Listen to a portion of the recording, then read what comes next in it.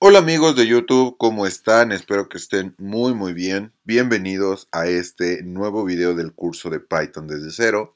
Vamos a continuar amigos viendo temas interesantes y el día de hoy nos toca ver lo que son las estructuras de control.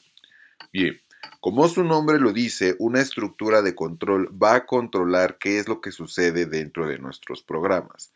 Va a permitir ejecutar un código o no, dependiendo de una expresión que nosotros le indiquemos. ¿Vale? Bien.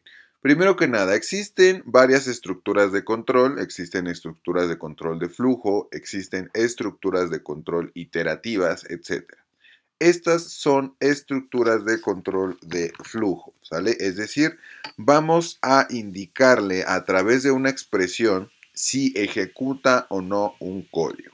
Bueno, ¿Cuáles son esas estructuras de control que vamos a ver el día de hoy? Bueno, vamos a ver la estructura if y la estructura if-else, que digamos que es un añadido a la estructura if. Pero bueno, vamos a ver. Primero que nada, nuestra estructura, ¿cómo la vamos a poder declarar? Bueno, la vamos a declarar de la siguiente manera. Con la palabra reservada if, ¿bien? Después vamos a poner una expresión. Ahorita les voy a explicar bien cómo funciona esto. Vamos a poner dos puntos después de nuestra expresión y eh, vamos a poner aquí el código. Voy a poner aquí un comentario. El código que queremos ejecutar. ¿Sale? Entonces, esta estructura de if funciona de la siguiente manera. La expresión que nosotros vamos a poner aquí va a ser una expresión lógica, ya lo vimos en videos anteriores, a través de los operadores de comparación y esta expresión nos va a devolver un valor ya sea true o false, ¿sale? Si esta expresión nos devuelve un valor true, va a ejecutar el código que tenemos acá. Si esta expresión nos devuelve un valor false, no va a ejecutar el código que tenemos aquí. Bien, entonces, vamos a hacer un ejemplo. Por ejemplo, vamos a comparar un número X, 5, eh, con un número 6. Bien, tenemos una expresión ahí de comparación que se leería de la siguiente manera. 5 es mayor a 6, no, 5 no es mayor a 6. Esto me va a devolver un true y el, eh, perdón, esto me va a devolver un false y el código que tenemos debajo de este if no va a ser ejecutado, ¿sale? ¿Por qué no va a ser ejecutado? Bueno, porque nuestra estructura de control de flujo if está obteniendo un false de su expresión que se le asignó. Por lo tanto, el código que nosotros incluyamos en esa estructura no va a ser ejecutado. ¿Sale?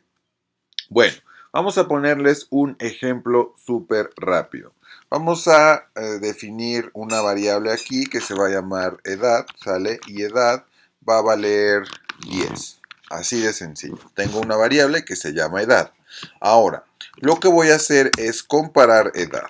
Si edad es menor a 18, ¿sale? Que es una edad, digamos que en la mayoría de los países está considerada como la edad eh, mayor, ¿sale? Como la adultez.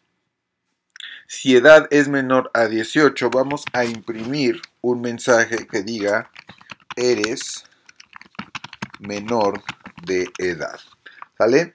¿Qué es lo que va a pasar aquí? Bueno, tengo una variable que tiene un valor y dentro de mi estructura de control de flujo if estoy intentando imprimir un texto, un texto en consola lo va a imprimir siempre y cuando nuestra variable edad sea menor a 10, ¿sale? Entonces, edad, en este caso vale 10, es menor a 18. Si edad sí es menor a 18, por lo tanto, sí va a ejecutar este código. ¿Qué pasa si yo le pongo aquí 20? Edad es igual a 20. 20 es menor a 18. Eh, no, 20 no es menor a 18, esto me devuelve un false y no va a ejecutar este código.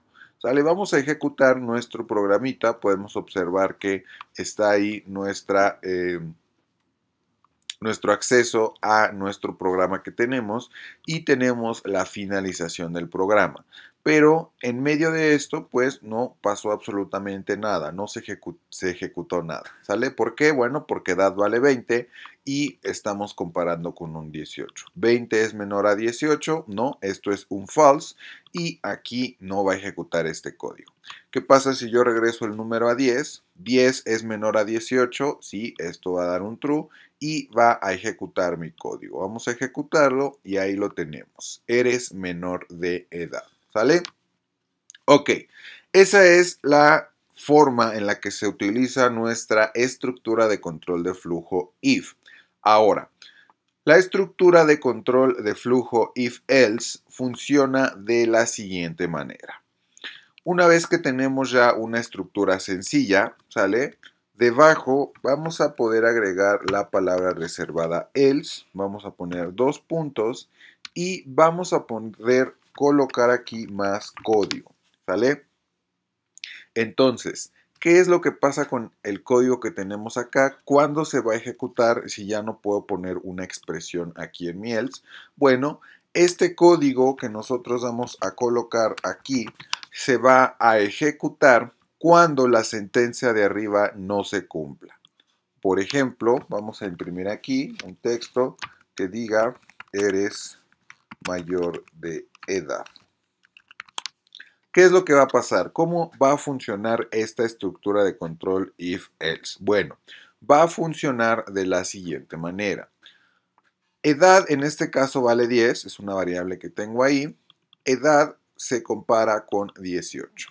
10 es menor a 18, ¿sí? Esto va a devolver un true y va a ejecutar solamente este código este código de acá abajo ya no lo va a ejecutar porque ya entró a ejecutar el código que está en mi if.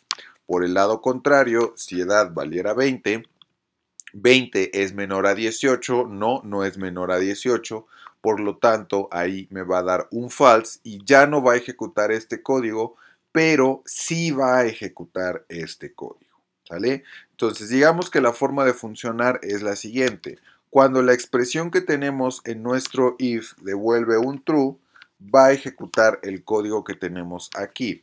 Cuando la sentencia que tenemos en la parte de arriba devuelve un false, pues va a ejecutar el código que tenemos nosotros en la parte de el else. ¿Sale? Así de sencillo. Se los voy a demostrar. Vamos a eliminar estos comentarios.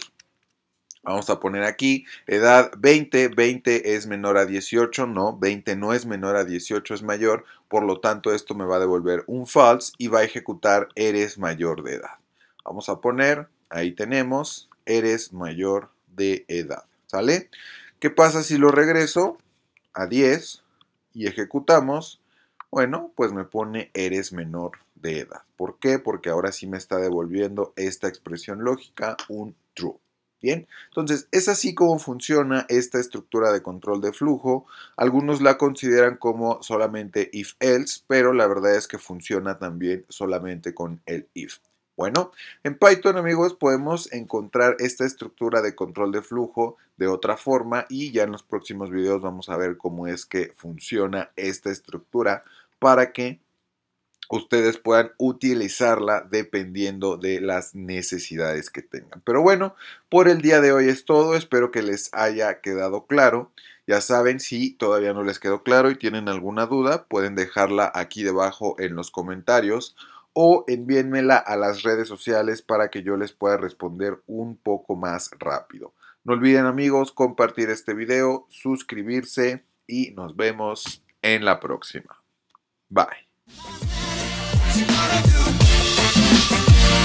Yeah.